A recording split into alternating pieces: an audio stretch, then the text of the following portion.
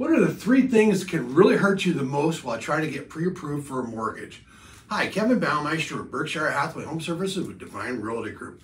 The first thing is going to be high car payments.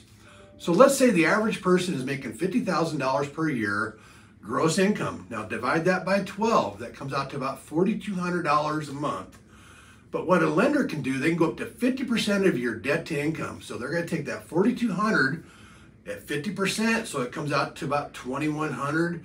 Okay, so then at that point, if you let's say you have a high car payment of $900 per month, they're going to take that right off the top of that 2,100. So you're really left with a payment of 1,100 for your total house payment. So that can really hurt you. Number two is to be high credit card balances. So let's say you're over your limit, you're going to get penalized for that. Or you have a high credit card balance, you're going to get penalized that. What they really want to see is you be below 30% or below your spending limit. When I say spending limit, your line of credit. Okay? You're going to get the maximum amount of points at that point. Number three is going to be late payments or missed payments.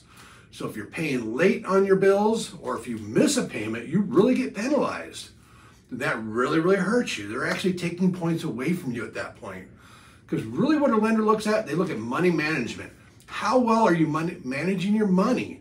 Okay.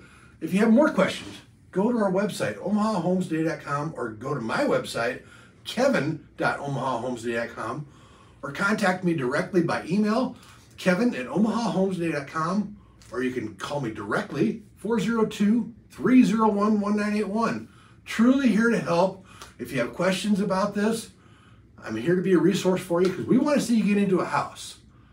Have a great day.